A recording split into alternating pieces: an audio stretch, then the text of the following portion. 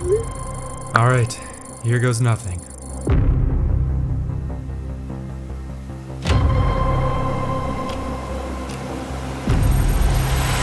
Autofill, autofill, autofill, autofill, autofill.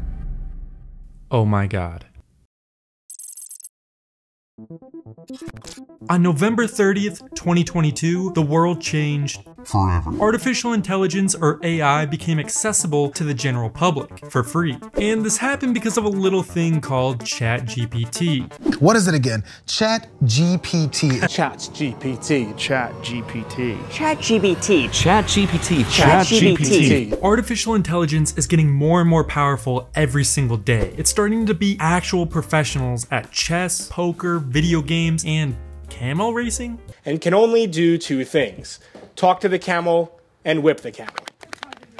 Yes, believe it or not, that is a robot on a camel's back, controlling it in a camel race. I didn't even know they raced camels. I have so many questions. So it got me thinking, if artificial intelligence can beat humans in very advanced activities like chess, could it beat humans in something as advanced as trading in the stock market? Which, if you really sit down and think about it, there are multiple reasons why AI would be better than humans at trading.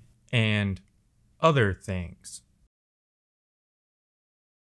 Speed and efficiency. AI can analyze vast amounts of financial data in the matter of seconds. I'm fast as fuck, boy which a human obviously can't do. AIs have no emotion. Unlike a human, AIs don't experience emotions such as fear, greed, or excitement, which, when trading, those types of emotions cloud your judgment and lead to poor trading decisions. Another reason, AIs don't need sleep. They can trade 24 hours every single day, which obviously we cannot do. I mean, I need my beauty sleep, you know? Then finally, consistency. And this is the big one. One of the hardest parts about trading is sticking to a set trading plan. For one reason or another, we've all diverged from our trading plan at least once. Whether that's moving a stop loss, entering early, exiting late, whatever it is, you've probably done it. The thing about AI, it will always stick to that trading plan no matter what. So I wanted to put it to the test. I coded a trading bot from scratch with all the trading knowledge I've learned from the past eight years of trading. I coded everything I know into this bot. The ability to read market structure, momentum, volume, level 2 data, everything. I basically wanted to create me and my trading style and how I personally would trade into a little baby robot. This bot will automatically enter, exit, and make every single trading decision for me, while I eat a peanut butter and jelly sandwich on my couch watching AI camel racing. So I wanted to know what would happen if I put $30,000 into a brand new trading account and completely left the bot alone and let it trade for me for one week. Could I actually make money on autopilot or would I lose the $30,000 within seconds? Now, I had to make some rules for this video. I'm not allowed to interfere with this account at all. I can't help the bot trade in any way. All I can do is turn on the bot and let it trade. It's kind of like a game show. I'm gonna call it, does this AI strategy really work? Or is it a money loser game show?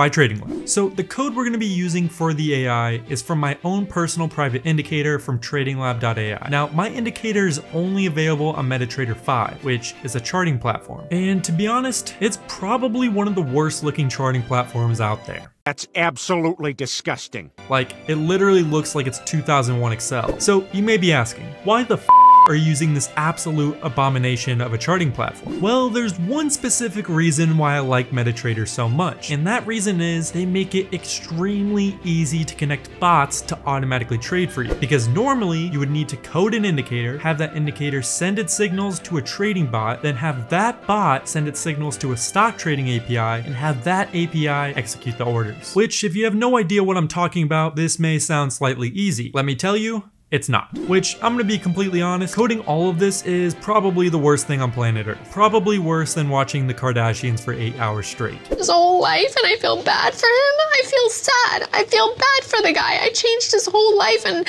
he fell in love with me and I fell in love with him and now my feelings have changed. You don't think I feel bad that I invited all these on MetaTrader, they make it really easy to do it. You essentially connect what's called an EA, which stands for Expert Advisor, which is basically another word for bot. I guess it sounds more professional though. Ah, uh, indubitably. I'll have my Expert Advisor take care of it. Anyways, As long as you have the indicator or whatever is providing the signals, connecting it to a broker is infinitely times easier on MetaTrader than creating it manually. So that's the main reasoning for why we are using MetaTrader. So it's quite simple actually. After I have the EA set up, every time my indicator gives a buy signal, the EA will note that, send an execution order to my broker, my broker will then buy it. Then once the indicator gives a sell signal, the broker will automatically sell it, completing the trade. Pretty simple. So now that we know what code I'm using, how I'm going to use that code to automatically trade for me, we move to the next step, which is funding my brand new account. When I thought of this video idea, I was originally just gonna trade with $1,000, but if you're watching this video now, you'll see the title says I gave the AI $30,000. Hmm, weird, right? So how did I go from $1,000 to $30,000? Because of these little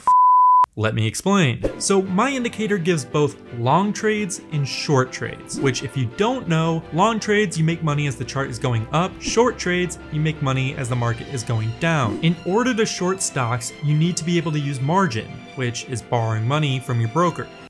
I am once again asking for your financial support. And I completely forgot there's the stupidest rule on planet Earth that the SEC made called the pattern day trading rule, which is basically in order to use both margin and do more than three consecutive day trades a week, I need a margin account, which if I want a margin account, I need to add at least 25,000 or more into this account. So I ended up putting $30,000 in, so I had some wiggle room. I went from wanting to only put $1,000 to putting $30,000, which means this AI strategy goes terribly wrong. Well, pray for me.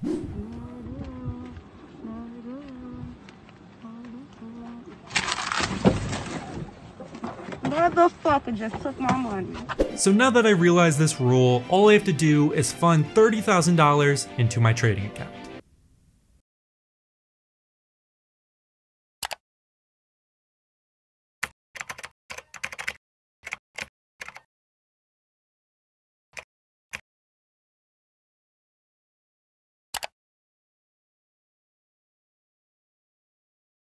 I feel like this is a great time to talk about today's sponsor. HankoTrade. Hanker Trade is who I personally use as a forex broker. It's kind of funny because I used them way before they asked to sponsor me, so when they did, I frantically said yes. They are overall just a really good forex broker. Low fees, low spreads, easy to use platform. And one of the main reasons why I like them so much is because they are one of the few brokers you can hook up directly to the EA I was talking about before on MetaTrader. So they make it really easy to set up automatic trading bots. If you use the link in my description, they will match whatever you first deposit deposit. So if you deposit say $100, they will give you $100. Thank you HankoTrade for sponsoring this video. I love you. Alright, so the account is now funded, but we ran into a slight issue. If you've ever watched one of my videos before, I always say time and time again to never follow the private indicator blindly by just following the signals, which is essentially exactly what we're about to do. There are multiple reasons for why this is not a good idea. One being if the market is super bearish and is falling, the indicator still might give you a long entry buy signal, which as we all know is a big no-no. So what I usually always recommend is using the indicator as more of a tool rather than blindly following it. Use the trend table provides, use the order blocks, the smart money concepts, and all the other features. And use them as tools to help you make trading decisions rather than it making the trading decisions for you. Also, why is there a plunger in this photo?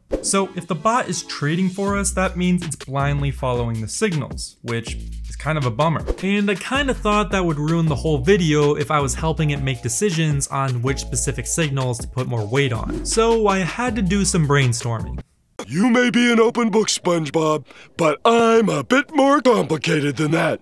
The inner machinations of my mind are an enigma. Because the indicator can't really read market sentiment by itself. That is, until now. You see, I added a feature that you can manually or automatically adjust the market sentiment. So for example, if for some reason you think the market is gonna be very bearish that week because of rising interest rates, bad economic news, a war is breaking out, or Donald Trump made another tweet, you can just go to the indicator settings and say the market sentiment is bearish, which then the indicator will automatically give you less long trades and more short trades, giving the short trades more weight during this period. If you said the market sentiment is bullish, it'll show you more long trades compared to short trades. Adding just this one little tool to the indicator has greatly increased the profitability of it, at least when it comes to just blindly following it. And it also makes me feel way more comfortable letting the bot follow signals blindly with $30,000 on the line. As I'm editing this now, it's now Saturday, and I plan to start the 7 day challenge on Monday. But to be honest, I have no idea what's about to happen, and I'm kind of scared. No, I'm really scared. Like, what's gonna happen? Am I gonna make a lot of money? Am I gonna lose a lot of money? Is something gonna happen wrong with the bot? Like anything could happen. It'd be pretty cool to see if the bot can make money completely on its own without me doing absolutely any work because it's almost kind of my baby and it would be like a proud dad moment. Like imagine if you birthed a baby and made that baby go into work for you as you watched AI camel racing and it came home every single day with a bag. Like that's the type of life I want to live. So as the clock ticked down, I got got more and more anxious of what was about to happen. Then Monday morning came.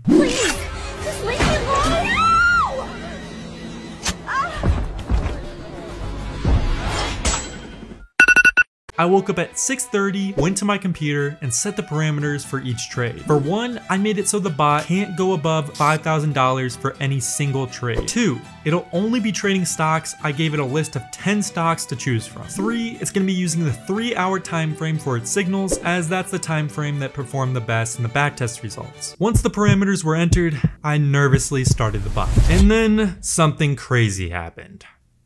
Absolutely nothing. My disappointment is immeasurable. And my day is ruined.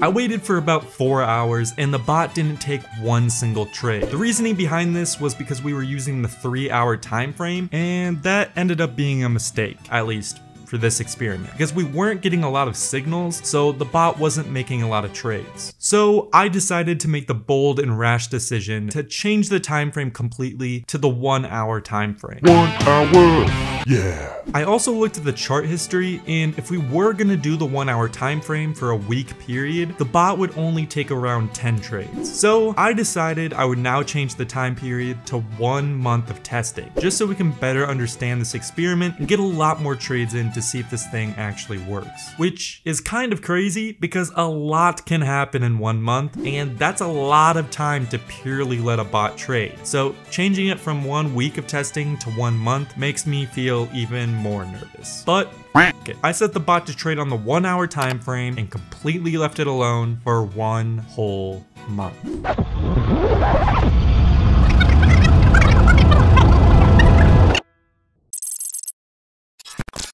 Alright guys, it's been one month. I started this bot on January 17th and it is now February 18th and the results are in. As I'm talking right now, I'm looking at the balance. I'm still in absolute shock. So the bot traded 10 different stocks. Apple, Google, Microsoft, AMD, Nvidia, Tesla, Disney, Amazon, Visa, Costco. And one of these gave some pretty interesting results. Can you guess which one it was? That's a little foreshadowing. First, we'll start with Apple. So just so you guys know what the signals mean, a green arrow means a long entry. These ones and twos are take profits. If you see a green X, that means the bot exited, but it was a losing trade. It's the same thing with shorts. Red arrow means entry, ones and twos are take profits. Red X means the bot exited, but it was a losing trade. So how did the bot do for the very first trade it took? The very first trade to set the momentum for this whole experiment. It was a loss.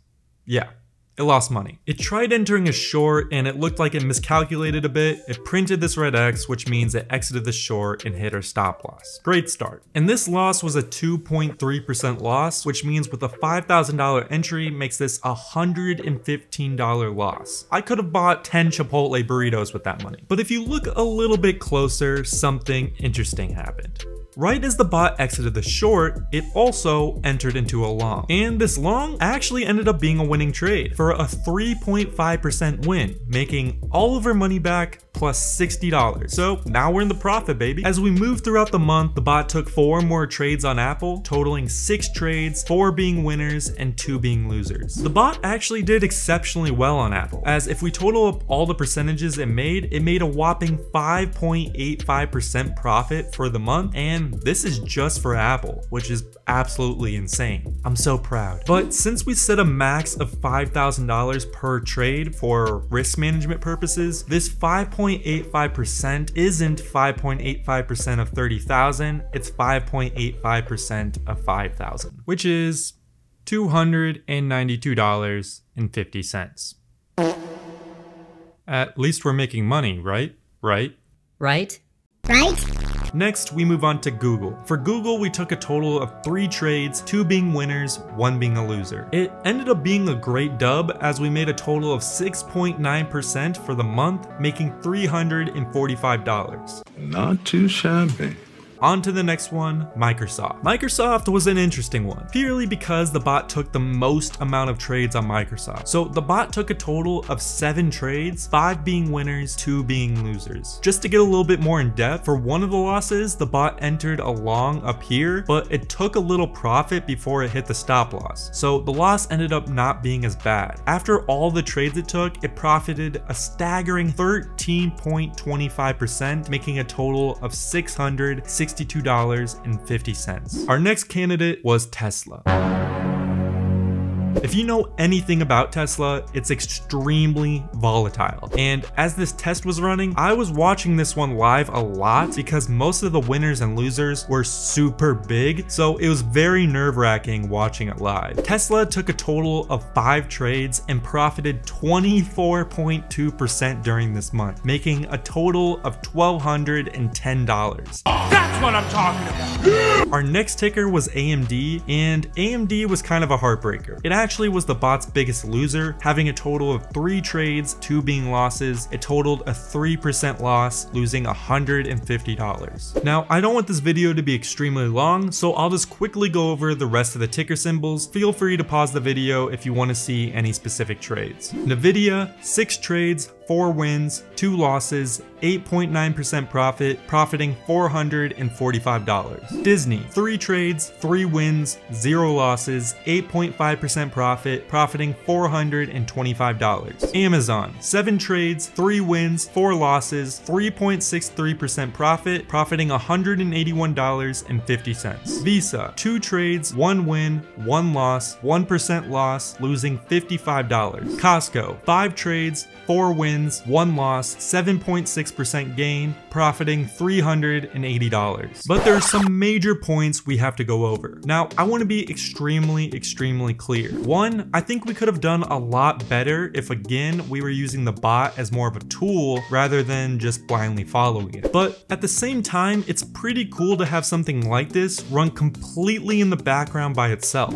So after totaling all of the trades, the bot took a total of 47 trades in one month. Out of those 47, 31 were wins, 16 were losses. In the moment you've all been waiting for, the bot made a total of $3,736.50, taking our account total from $30,000 to $33,736.50 in one month of trading completely on its own without me touching it at all, which is still mind blowing to me. The bot made a total of 74.73% during the month, so if we didn't put the $5,000 cap per trade and used all $30,000 for every single trade, we would have made $22,419 in a month without doing any work, which is kind of sickening. But even with that said, I think doing this over, I would still put the cap just for risk management purposes, because if you're using all of your capital for every single trade, you could easily blow up an account if you got on a loss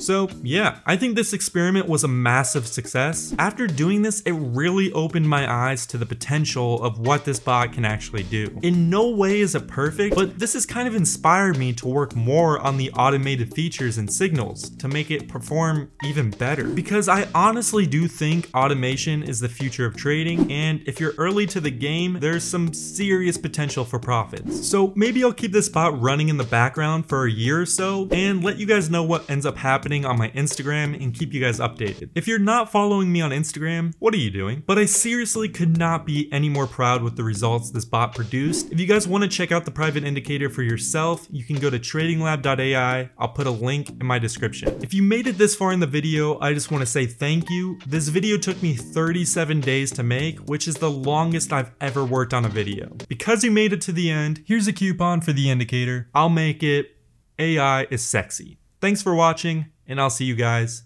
next time. One hour. Yeah.